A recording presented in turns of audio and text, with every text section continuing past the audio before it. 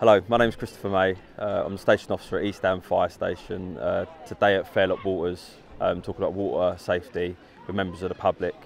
Um, in the recent months, uh, we've had a lot of unprecedented uh, accidents, injuries, and deaths, unfortunately, across the country with young adults, um, children, uh, and people from all walks of life um, in the water. So, hopefully, today we'll be able to discuss a few things that would help keep you safe um, in the warm weather um, with open water, uh, including lakes, uh, the sea, and um, rivers. So, uh, firstly, um, nice hot day, um, and we're going to enter the water. Now, the water, a large body of water doesn't warm up, not very much. So when we enter it too fast, we get a thing called cold water shock. Um, this can stop you functioning completely. Take a very deep breath and find it hard to breathe.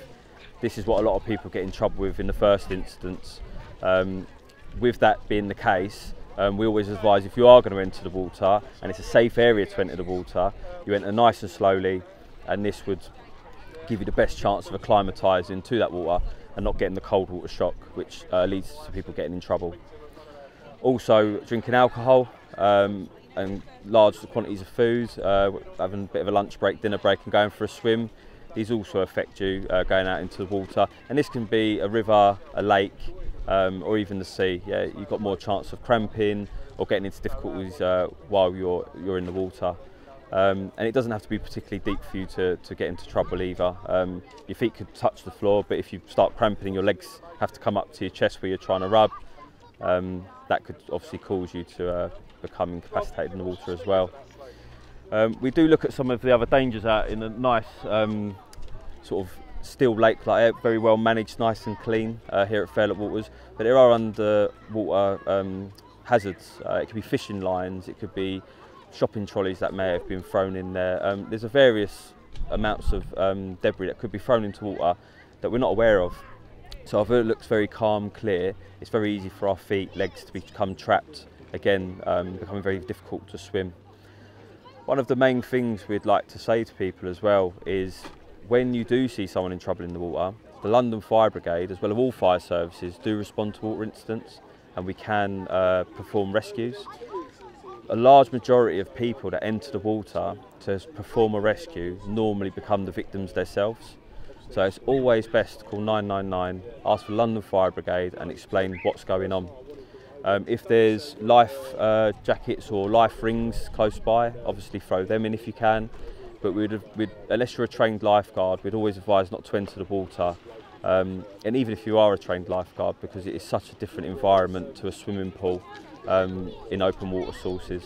So 999, London Fire Brigade, and we will send a specialist team uh, to perform the rescue. But you can still do things like using throw lines on boards, um, the rings, and if there's life jackets available to throw out, depending on what water course you are um, or where you are. Um, so when we have rivers, they're clearly fast moving, um, not always obvious. So most people think of a river and you can see the surface of the water moving. But if we look at the River Thames, although it's quite calm and moving seems to move very slowly, it's only a metre deep uh, and that water then becomes very, very quick and can quickly uh, pull you and take you to where you don't want to go. Um, and unfortunately, we've had incidents in the Thames that people have fallen foul with um, and require rescuing. So, any rivers, um, unless it's a designated swimming area, I would always advise you not to enter um, and uh, sort of go to designated swimming spots if you could also with open bodies of water, I'd just like to mention uh, with a nice breeze, uh, you can see here um, with Fairlop Waters there's a ripple effect. So when you do swim out, sometimes it can be a lot harder to swim back. Um, although there's not a current, it's that wind factor that can make it a lot more difficult for you um, swimming. So moving on from that, um, we do have an LFB Twitter page um, that can offer you more advice on water safety, um, hashtag respect the water. We can also go to the uh, London Fire Brigade um, official uh, webpage um, with a tab on there for uh, water safety advice. You're always welcome down to your local fire station to uh, get further fire safety advice, um, water safety advice, or have home fire safety visits attending to you.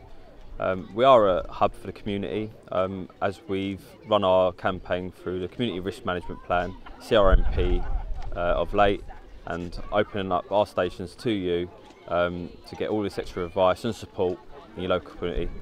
So to finish up, please all stay safe, whether it rain or shine, summer or winter.